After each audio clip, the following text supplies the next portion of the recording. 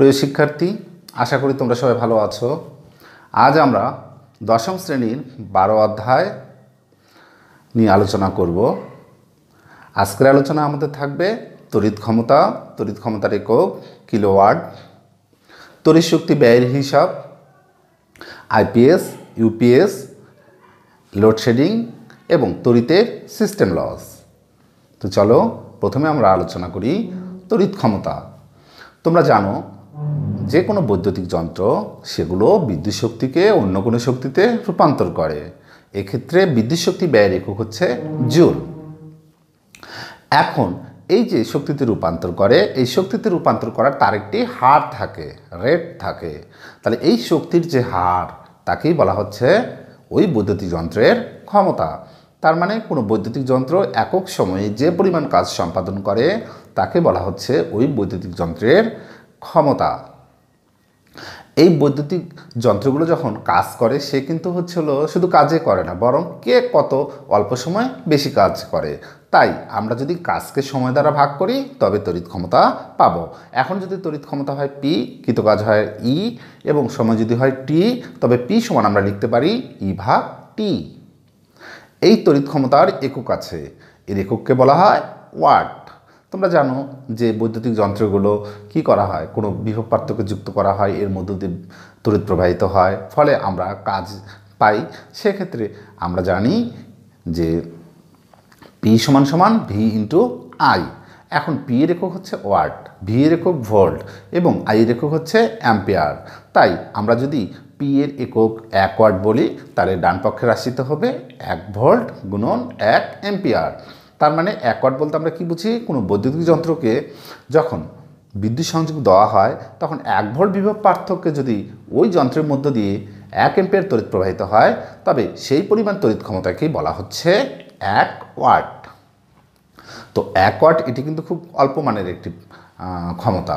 এখন যদি আমরা অধিক পরিমাণে ক্ষমতা পরিমাপ করতে যাই, সেক্ষেত্রে আমরা আরেকটি রাশি নিব, যেটাকে বলা হচ্ছে কিলো ওয়াট তোমরা জানো কিলোর ভ্যালু হচ্ছে এক হাজার।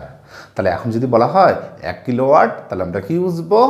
এক কিলো ওয়াট বলতে বোঝা হচ্ছে এক হাজার ওয়াট বা ten to the power three watt. এখন যদি আরও বেশি ক্ষমতা পরিমাপ করতে যাই, সেক্ষেত্রে কিন্তু আমরা মেগাওয়াট, তার মানে এক মেগাওয়াট সমান ten to the power six watt. এখন আমরা জানব ওয়াট ঘণ্টা এবং কিলোওয়াট ঘণ্টা। তাহলে দেখো বৈদ্যুতিক যন্ত্রগুলো যখন আমরা ব্যবহার করি, তখন এর ক্ষমতা থাকে ওয়াট এবং কত সময় যাবৎ ব্যবহার করি, তার একটা হিসাব থাকে। এখন যদি আমি বলি যে একটি বৈদ্যুতিক যন্ত্রের ক্ষমতা হচ্ছে এক ওয়াট এবং একে এক ঘণ্টা যাবৎ ব্যবহার করা হলো, তাহলে অবশ্যই বিদ্যুৎ শক্তি ব্যয় হচ্ছে, সেই পরিমাণটাকে বলা হচ্ছে এক ওয়াট ঘণ্টা। তার মানে এক ওয়াট ক্ষমতা সম্পন্ন কোনো বৈদ্যুতিক যন্ত্র এক ঘণ্টা যাবৎ ব্যবহার করা হলে যে পরিমাণ বিদ্যুৎ শক্তি ব্যয় হয়, তার পরিমাণকে আমরা বলব এক ওয়াট ঘণ্টা। তাই না? এখন যদি আমি বলি কিলোওয়াট ঘণ্টা, তার মানে কি? এক হাজার ওয়াট বা এক কিলোওয়াট ক্ষমতা সম্পন্ন কোনো বৈদ্যুতিক যন্ত্র এক ঘণ্টা ধরে ব্যবহার করা হলে যে পরিমাণ শক্তি ব্যয় হয় তাকে বলা হচ্ছে এক কিলোওয়াট ঘণ্টা। দেখি তো এক কিলোওয়াট ঘণ্টা সমান কত জুল?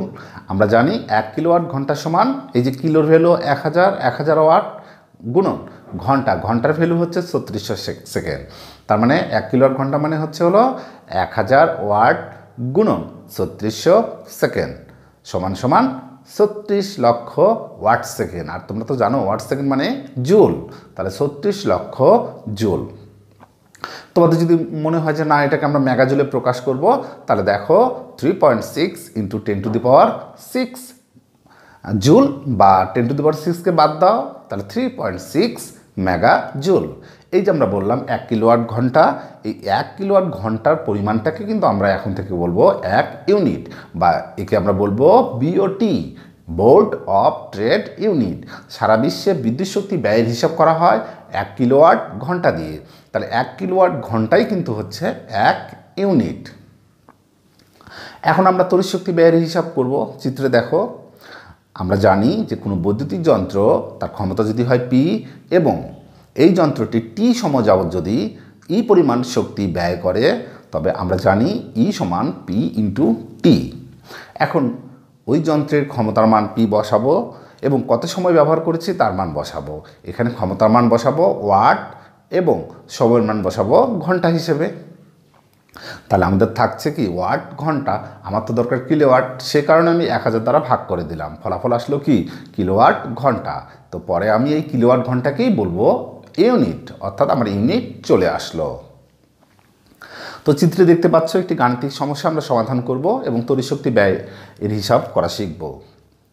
চিত্রে দেখা যাচ্ছে যে এখানে একটি গাণিতিক সমস্যা সিক্সটি ওয়ার্ডের বাল্ব প্রতিদিন পাঁচ ঘণ্টা করে যদি তিরিশ দিন ব্যবহার করা হয়, অর্থাৎ এক মাস যদি ব্যবহার করা হয়, তবে কী পরিমাণ শক্তি ব্যয় হবে বা তোমাকে কী পরিমাণ টাকা পরিশোধ করতে হবে? এখানে মনে রাখা প্রয়োজন, এই গাণিতিক সমস্যায় প্রতি ইউনিট বিদ্যুতের মূল্য ধরা হয়েছে আট টাকা। তো আমরা সমাধান করি, আমরা জানি বিদ্যুৎ শক্তি ব্যয়ের হিসাব ই সমান পি ইন্টু টি এখানে পি যন্ত্রের ক্ষমতা, কত ক্ষমতা? সিক্সটি ওয়াট তাহলে পি এর ভ্যালু আমরা বসিয়ে দিচ্ছি সিক্সটি ওয়াট এবং টি টি হচ্ছে কত? ফাইভ আওয়ার তাহলে ফাইভ আওয়ার আমরা বসে দিচ্ছি। কিন্তু কতদিন? তিরিশ দিন। এ কারণে সামনে তিরিশ গুণন করে দিলাম। এটা তো হলো ওয়াট কিন্তু আমাদের দরকার কিলো ওয়াট সে কারণে আমরা কি করব? এক হাজার দ্বারা ভাগ করব। এক হাজার দ্বারা ভাগ করলে আমাদের চলে আসবে কিলোওয়াট ঘণ্টা। আচ্ছা এই যে কিলোওয়াট ঘণ্টা, দেখো তো ফলাফল সমান কত আসে? নাইন কিলোওয়াট ঘণ্টা। এই যে নাইন কিলোওয়াট ঘণ্টা, তার মানেই কি? আমি তো তোমাদের আগেই বলেছি কিলোওয়াট ঘণ্টা মানেই হচ্ছে ইউনিট তার মানে নাইন ইউনিট এখন আমাদের বিদ্যুৎ শক্তি ব্যয় বের করলাম আমরা নাইন ইউনিট এখন যদি বলি কত টাকা পরিশোধ করতে হবে, তবে এক ইউনিটের মূল্য কত? আট টাকা। আমার ব্যয় নয় ইউনিট তবে নয় ইউনিটের মূল্য বা পরিশোধ করতে হবে আট গুণন নয় সমান বাহাত্তর টাকা। তাহলে আমরা তড়িৎশক্তি ব্যয়ের হিসাব করা শিখে গেলাম। খুবই ইম্পর্টেন্ট ম্যাক্সিমাম ক্ষেত্রে এই প্রশ্নগুলো আসে এসএসসি লেভেলে এখন আমরা দেখব যে কোনো বাল্বের গায়ে যদি লেখা থাকে দুইশো বিশ ভোল্ট সিক্সটি ওয়াট তার অর্থ কী? তোমরা বাজার থেকে যখন একটি বাল্ব নিয়ে আসো, বাল্বের গায়ে লেখা থাকে দুইশো বিশ ভোল্ট, সিক্সটি ওয়াট। তার অর্থ কি? তাহলে দুইশো বিশ ভোল্ট, যার অর্থ হচ্ছে বাল্বটি হতে যদি তুমি পূর্ণ উজ্জ্বলতা আলো পেতে চাও, তবে এই বাল্বটিকে দুইশো বিশ ভোল্ট বিভব পার্থকে যুক্ত করতে হবে। এবং এর ক্ষমতা কত? Sixty watt. তোমরা তো জানো, এক ওয়াট বলতে কি? যন্ত্রটি প্রতি সেকেন্ডে এক জুল কাজ সম্পাদন করে, এখানে সিক্সটি ওয়াট। তার মানে যন্ত্রটি প্রতি সেকেন্ডে সিক্সটি জুল কাজ সম্পাদন করবে। কীভাবে কাজ সম্পাদন করবে? এই যে বিদ্যুৎ শক্তিকে সে তাপ এবং আলোক শক্তিতে রূপান্তর করবে। তাই সিক্সটি ওয়াটের অর্থ হচ্ছে যে ওই বাল্বটি প্রতি সেকেন্ডে সিক্সটি জুল, বিদ্যুৎ শক্তিকে সিক্সটি জুল তাপ এবং আলোক শক্তিতে রূপান্তর করবে। এখন আমরা কিছু এমসিকিউ সমাধান করি। দেখো, এক নম্বর এমসিকিউতে বলা হচ্ছে অ্যামিটারের প্রতীক। তোমরা পূর্ববর্তী আলোচনা থেকে জেনেছ, অ্যামিটারের প্রতীক। হ্যাঁ এ, তাহলে সঠিক অপশন কোনটি? খ। দুই নম্বরে বলা হচ্ছে যে তড়িৎ বিশ্লেষণ প্রক্রিয়ায় প্রলেপ দেওয়া হয়। আসলে আমরা জানি, লাস্ট লেকচারে শিখেছিলাম, তড়িৎ বিশ্লেষণ প্রক্রিয়া প্রলেপ দেওয়া হয় কম মূল্যের ধাতব পদার্থের উপর অধিক মূল্যের ধাতব পদার্থ। সেই শর্ত অনুযায়ী এখানে এক নম্বরটি দেখো, লোহার উপর নিকেল। এখানে লোহা কম মূল্য আর নিকেল হচ্ছে অধিক মূল্য। তাই এটি সঠিক। তিন নম্বরে বলা হচ্ছে তামার উপর সোনার। তামা কম মূল্য কিন্তু সোনা অধিক মূল্য, তাই তামার উপর সোনার প্রলেপ দেওয়া যেতেই পারে, এটিও সঠিক। তাই সঠিক উত্তর হচ্ছে এক এবং তিন। তাহলে আমাদের সঠিক উত্তর কোনটি? সঠিক উত্তর হবে খ। এখন আমরা এনার্জি সেভিং বাল্বের সুবিধা নিয়ে আলোচনা করব। আচ্ছা আমরা বাসায় সাধারণত যে বাল্বগুলো ব্যবহার করতাম, সেগুলোকে সাধারণ বাল্বে বলি, যার মধ্যে ফিলামেন্ট ব্যবহার করা হয়। এই বাল্বগুলোকে যদি আমরা ব্যবহার করি, তোমরা খেয়াল করবে যে এই বাল্বগুলো থেকে কিন্তু লালচে আলো আমরা পাই। অর্থাৎ এখানে অধিক পরিমাণে তাপ উৎপন্ন হয়। তাহলে এই বাল্বগুলো দিকে আমরা, আমাদের পাওয়া দরকার আলো। কিন্তু আমরা বাড়তি হিসেবে পাচ্ছি কি? তাপ। তাহলে অবশ্যই এখানে বিদ্যুৎ শক্তির কিছু অপচয় হচ্ছে। তাহলে সাধারণ যে বাল্বগুলো ব্যবহার করি, সে বাল্বগুলো কিন্তু হচ্ছে বিদ্যুৎ শক্তির অপচয় হয়। সেগুলো থেকে আমরা অধিক পরিমাণে আলো পাই না। এ কারণে আমরা কি কোন বাল্ব ব্যবহার করি? Energy saving bulb. এই বাল্বগুলো দু রকমের। এক হচ্ছে হলো ফ্লোরোসেন্ট টাইপ আর দুই হচ্ছে এলইডি টাইপ। তো দুটি এনার্জি সেভিং। তো বর্তমানে বহুল ব্যবহৃত হয় এলইডি অর্থাৎ লাইট এমিটিং ডায়োড বাল্ব। এই এনার্জি সেভিং বাল্বগুলো ব্যবহার করার ফলে অনেক সুবিধা আমরা পেয়ে থাকি। তো একটু আগে তোমাদের বললাম যে সাধারণ বাল্বে কিন্তু হচ্ছে বিদ্যুৎ অপচয় হয়। কিন্তু তুমি যদি এনার্জি সেভিং বাল্ব ব্যবহার করো, তবে এখানে বিদ্যুৎ সাশ্রয় হয়। সাধারণত একটি এনার্জি সেভিং বাল্বে টোয়েন্টি পার্সেন্ট থেকে এইট্টি পার্সেন্ট বিদ্যুৎ সাশ্রয় হয়। সাধারণ যে বাল্ব, এগুলো কম টেকসই, বেশি দিন আসলে টিকে না, প্রায় নষ্ট হয়ে যায়। কিন্তু তুমি যদি এনার্জি সেভিং বাল্ব ব্যবহার করো তাহলে এগুলো সাধারণ বাল্বের তুলনায় তিন থেকে পঁচিশ গুণ বেশি সময় টেকসই থাকে। অর্থাৎ অনেক দিন যাবৎ তুমি এনার্জি সেভিং বাল্বগুলোকে ব্যবহার করতে পারো। পরবর্তী আমরা দেখব যে এই এনার্জি সেভিং বাল্বগুলো যে শক্তিটাকে সেভ করে অর্থাৎ যে বিদ্যুৎ শক্তিটাকে সাধারণ বাল্ব সাধারণ বাল্বে অপচয় হয়, এনার্জি সেভিং বাল্ব ব্যবহার করলে ওই বিদ্যুৎ ওই বিদ্যুৎটা তো হচ্ছে অপচয় হয় না। তাহলে যে পরিমাণ সেভ হচ্ছে, এই বিদ্যুৎ শক্তি দিয়ে প্রতি বছরে তিরিশ লক্ষ পরিবার আমরা বিদ্যুৎ সংযোগ দিতে পারি। দেখো, আমাদের দেশে কিন্তু হচ্ছে হলো আমাদের দেশে এখনও অনেক বাড়ি আছে যেগুলোতে বিদ্যুৎ পৌঁছায় নাই। আমরা যদি এনার্জি সেভিং বাল্ব ব্যবহার করি, তার সাধারণ বাল্ব ব্যবহার ফলে যে অপচয়টা হচ্ছে, ওইটুকু দিয়েই আমরা কিন্তু প্রতি বছরে তিরিশ লক্ষ পরিবার তড়িৎ সংযোজন করতে পারি। তাই আসলে আমাদের সাধারণ বাল্বগুলো ব্যবহার করা ঠিক নয়। আমাদের এখন থেকে এনার্জি সেভিং বাল্বগুলো ব্যবহার করা উচিত। তো সাধারণ বাল্ব যেহেতু টিকসই নয়, তাহলে আমরা দেখি সাধারণ বাল্বগুলো টিকসই না হওয়ার কারণে প্রায় নষ্ট হয়ে যায়, পরিত্যক্ত হয়। তাহলে এগুলো কি পরিবেশে ভারসাম্য নষ্ট করে না? এগুলো পরিবেশের উপরে একটা চাপ ফেলে। এখন যদি আমরা এনার্জি সেভিং বাল্ব ব্যবহার করি যেগুলো টেকসই তিন থেকে পঁচিশ গুণ সাধারণ বাল্বের তুলনায়, ফলে পরিত্যক্ত কম হবে আর পরিত্যক্ত যদি কম হয়, তবে তো আমরা পরিবেশের উপর চাপটা কম পড়বে, তাই না? আচ্ছা আমরা আইপিএস এবং ইউপিএস নিয়ে আলোচনা করব। দেখো, তোমরা হয়তো অনেক সময় বাসায় কম্পিউটারে কাজ করছ কিংবা পড়াশোনা করছ, হঠাৎ করে বিদ্যুৎ চলে যায়। কি একটা অবস্থার মধ্যে ওরা পড়ে যাই খেয়াল করো। হ্যাঁ পড়াশোনা করছ, বিদ্যুৎ নেই। কম্পিউটারে কাজ করছ, বিদ্যুৎ নেই। তো এই অসুবিধা থেকে দূর হওয়ার মানে রক্ষা পাওয়ার জন্য আমরা একটি যন্ত্র ব্যবহার করি, যাকে আইপিএস অথবা ইউপিএস বলি। দুটি কিন্তু ভিন্ন যন্ত্র। তাহলে দেখো, প্রথমে যদি আমরা মনে করি যে সাধারণ কাজ, যেমন সাধারণ কাজ বলতে পড়াশোনা কিংবা ফ্যান কিংবা টিভি, এই সকল কাজের ক্ষেত্রে বিদ্যুৎ সংযোগ প্রয়োজন। কিন্তু হঠাৎ করে যদি বিদ্যুৎ চলে যায় তাহলে তোমার পছন্দের কোনো প্রোগ্রাম দেখতে পারবে না, তোমার প্রয়োজনীয় স্টাডি করতে পারছ না, তাই না? কিংবা গরমের সময় ফ্যানটা ব্যবহার করতে পারছ না, সেক্ষেত্রে তোমার প্রয়োজন, সেক্ষেত্রে আমাদের যে যন্ত্রটি দরকার, তাকে আমরা বলব আইপিএস তো এই যন্ত্রটি কাজ হচ্ছে যে বিদ্যুৎ চলে যাওয়ার সাধারণত দুই সেকেন্ড সময়ের মধ্যে তোমাকে একটি ব্যাকআপ দেবে, বিদ্যুৎ ব্যাকআপ দেবে। সেই বিদ্যুৎটাকে তুমি ব্যবহার করে তোমার সাধারণ কাজগুলো করতে পারবে। তবে আইপিএসে কিন্তু মোটামুটি তোমার ব্যাকআপ সময়টা ভালোই দেয়। যখন বিদ্যুৎ থাকে না, তুমি একটা আলাদা পাওয়ার সাপ্লাই থেকে তুমি বিদ্যুৎটাকে পাচ্ছ। আচ্ছা কিন্তু যদি কম্পিউটারে কাজ করো, তাহলে কম্পিউটারে যদি তুমি কাজ করো, একটা ফাইল যদি এডিট করো ডকুমেন্ট ফাইল তুমি সেভ করো নাই। হঠাৎ করে কারেন্ট চলে গেলো, তাহলে তোমার ফাইলটি কি আর সেভ হবে? না ফাইলটি তো তোমার সেভ হবে না। ফাইলটি যদি সেভ না হয়, আবার নতুন করে কাজ করতে হবে, যেটা একটা বিরক্তিকর অবস্থা সৃষ্টি করবে। তাহলে এক্ষেত্রে কিন্তু আমাদের ইনস্ট্যান্ট মানে একদম তাৎক্ষণিক একটা পাওয়ার সাপ্লাই দরকার, যাতে কম্পিউটারটি বন্ধ না হয়ে যায়। আর এই সমস্যাটি সমাধান করে ইউপিএস এই ইউপিএস বিদ্যুৎ চলে যাওয়ার দশ মিলি সেকেন্ড খুবই অল্প সময়, দশ মিলি সেকেন্ডের মধ্যে তোমার ওই কম্পিউটারে কিন্তু বিদ্যুৎ সরবরাহ নিশ্চিত নিশ্চিত করে, নিরবিচ্ছিন্ন বিদ্যুৎ সরবরাহ নিশ্চিত করে। ফলে পাওয়ার সাপ্লাই থেকে কম্পিউটারটি বিচ্ছিন্ন হয়ে যায় না, তোমার কাজগুলো তুমি করতে পারো। তাই খুব সেন্সিটিভ যন্ত্রগুলোতে ইউপিএস ব্যবহার করা হয়। এই যন্ত্রটিতে ইউপিএস আমরা যখন ব্যবহার করব, আসলে এখানে কিন্তু খুব একটা ব্যাকআপ দেওয়া যায় না। শুধু তোমার প্রয়োজনীয় কাজগুলো তুমি সম্পাদন করে সেভ করতে পারো। তো চিত্রে একটি আইপিএস এবং ইউপিএসের চিত্র দেখানো হচ্ছে। তোমরা খেয়াল করো, এখানে দেখা যাচ্ছে যন্ত্রটি এসি মূল লাইন থেকে কি করছে? পাওয়ার বা বিদ্যুৎ নিচ্ছে। নিয়ে সে একটি ব্যাটারি চার্জারের সাহায্যে তার একটি পার্সোনাল ব্যাকআপ সিস্টেম ব্যাটারি সে ব্যাটারিকে চার্জ দিচ্ছে। আচ্ছা ব্যাটারির চার্জ হওয়ার পর, কিংবা চার্জ হচ্ছে ওই অবস্থায়, যদি কারেন্ট চলে যায়, সেই ইনভার্টার দ্বারা এই ব্যাটারি ডিসিটাকে সে কী করছে? এসিতে রূপান্তর করে আউটপুটে দিচ্ছে। তুমি কিন্তু এই আউটপুটে তোমার কম্পিউটার যুক্ত থাকে সেই আউটপুটে কিন্তু তুমি হচ্ছে কম্পিউটারটিকে ব্যবহার করতে পারো। তাই না?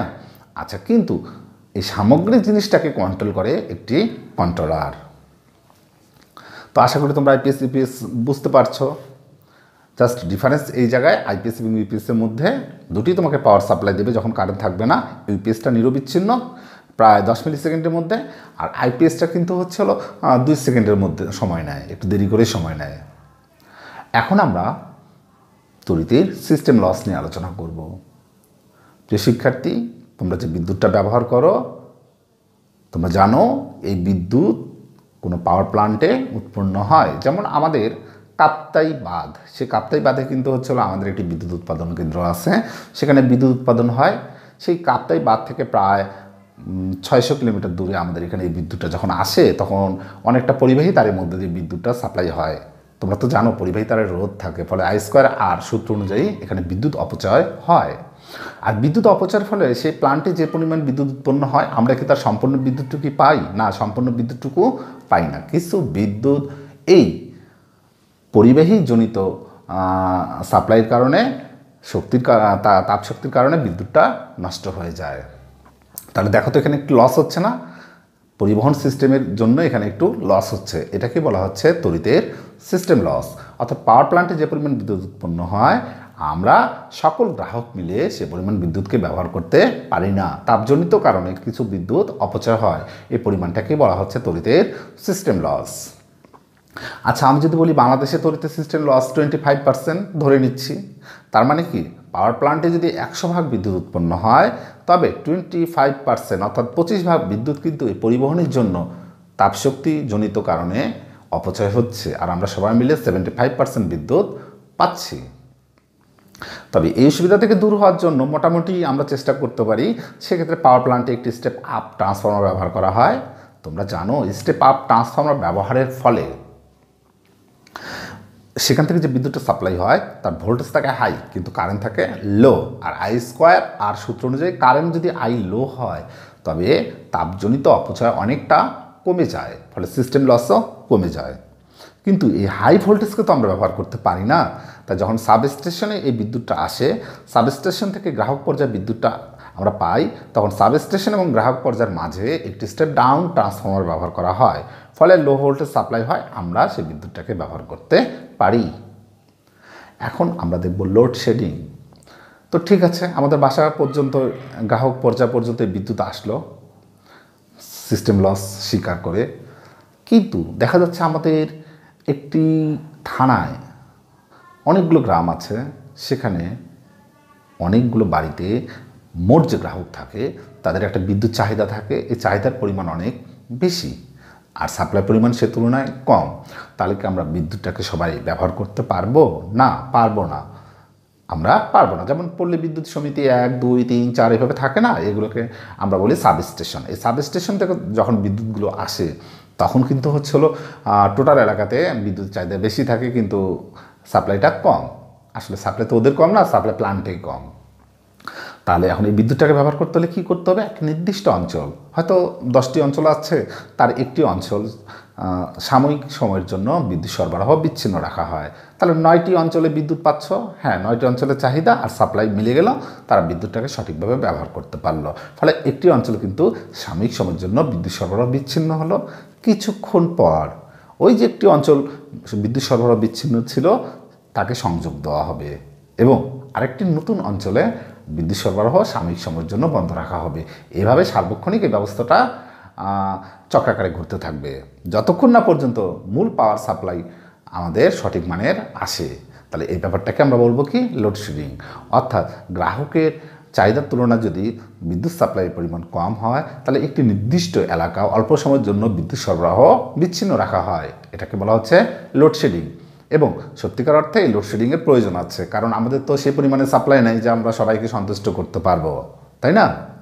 তাহলে লোডশেডিংটাকে পজিটিভ হিসেবেই ধরে নিতে হবে। তা না হলে তো আমরা সবাই ওই অল্প পরিমাণ বিদ্যুৎকে একই সাথে ব্যবহার করতে পারব না। দেখো, গরমের দিন আসছে, এখন লোডশেডিং হবে, দেখবা তোমার এলাকায় বিদ্যুৎ নেই, পাশের এলাকায় বিদ্যুৎ আছে। কিছুক্ষণ পর তোমার এলাকায় বিদ্যুৎ থাকবে, অন্য এলাকায় হয়তো বিদ্যুৎ থাকবে না। তো তোমাদের সবাইকে ধন্যবাদ মনোযোগ সহকারে ক্লাস অ্যাটেন্ড করার জন্য। এখন আমি তোমাদের কিছু বাড়ি কাজ দেব। এই বাড়ি কাজগুলো তোমরা বাসায় সম্পাদন করবে এবং শুধুমাত্র গ প্রশ্নের উত্তরটি তোমরা একটি পেজে সম্পাদন করে তার পিকচার তুলে এই পোস্টের কমেন্টে এসে পোস্ট করবে। সঠিক হলে আমি জানাব, ভুল হলেও আমি জানাব এবং কোনো জিজ্ঞাসা থাকলে আমাকে উত্তর দিবে। আম- আমাকে জিজ্ঞাসা করবে, আমি তার উত্তর দিব। তো সবাই ভালো থাকবে। আল্লাহ হাফেজ।